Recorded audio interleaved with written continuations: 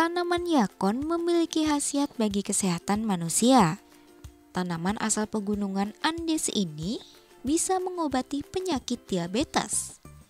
Tanaman yang populer dengan sebutan pohon insulin ini juga memiliki nilai ekonomis tinggi. Dari hasil panen yakon, pembudidaya bisa meraup omset 150 juta rupiah per bulan. Anda pernah mendengar tanaman yakon? Jika belum, sebaiknya Anda harus mengenal tanaman yang satu ini. Sebab tanaman yakon atau insulin memiliki khasiat bagi kesehatan manusia.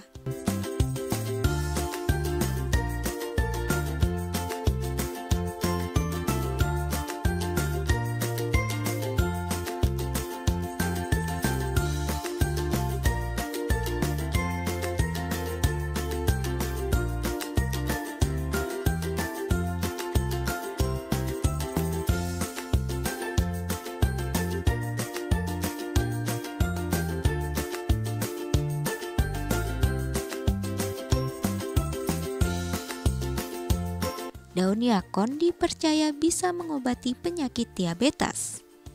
Yakon, Smalanthus sonsifolia merupakan tanaman asal pegunungan Andes, Peru, Amerika Serikat. Tanaman yakon termasuk anggota keluarga bunga matahari dengan daun mirip seledri yang dapat tumbuh hingga 3 meter. Yakon bisa diolah menjadi aneka makanan dan minuman seperti teh, sirup, puding, dan selai daun yakon kaya dengan insulin. Kandungan fruktosa yakon terdiri atas 35% fruktosa bebas dan 25% fruktosa terikat. Kandungan fruktosa itu yang mencegah penderita diabetes dari hiperglimea atau kadar gula darah tinggi. Salah satu pembudidaya yakon adalah Anto Widi asal Wonosobo, Jawa Tengah.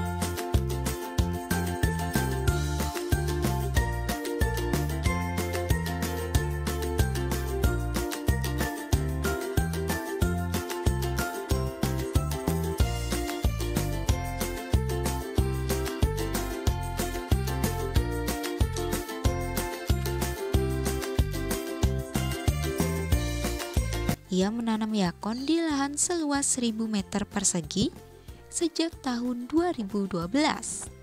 Anto menjual tanaman ini ke para produsen obat herbal secara online.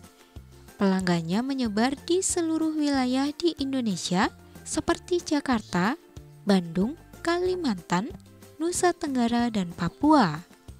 Menurut Anto, masa panen daun yakon bisa terjadi dalam dua bulan hingga tiga bulan sekali sejak masa tanam. Selanjutnya, daun yakon bisa dipanen setiap tiga minggu sekali.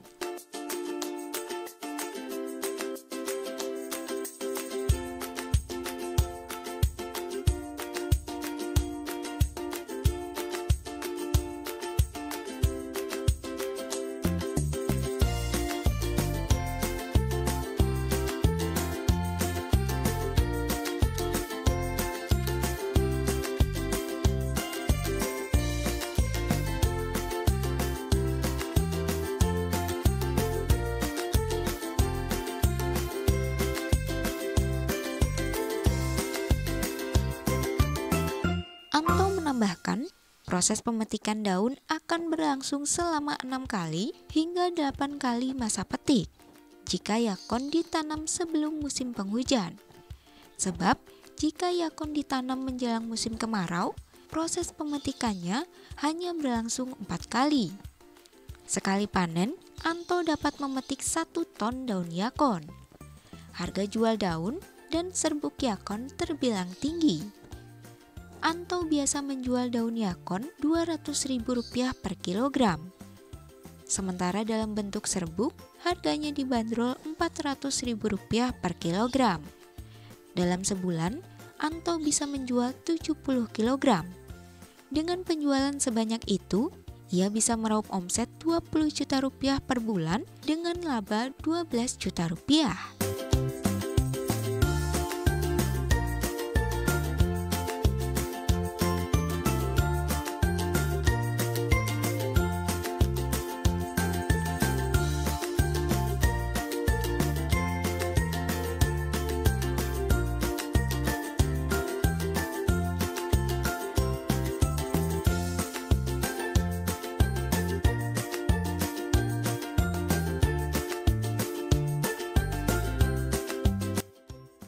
Pembudidaya yakon lainnya adalah Roni Prananta asal Yogyakarta. Dia menanam yakon sejak 2012 di atas lahan seluas 200 meter persegi di kawasan Bantul dan Gunung Lawu. Roni dibantu oleh dua orang petani lainnya untuk membudidayakan yakon. Roni bilang, untuk menanam yakon hingga masa panen butuh waktu 6 bulan hingga 8 bulan.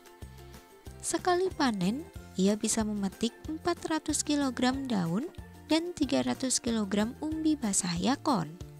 Roni menjual daun kering yakon seharga Rp400.000 per kilogram dan umbi basah Rp50.000 per kilogram. Sekali panen, Roni bisa meraup omset lebih dari 150 juta rupiah.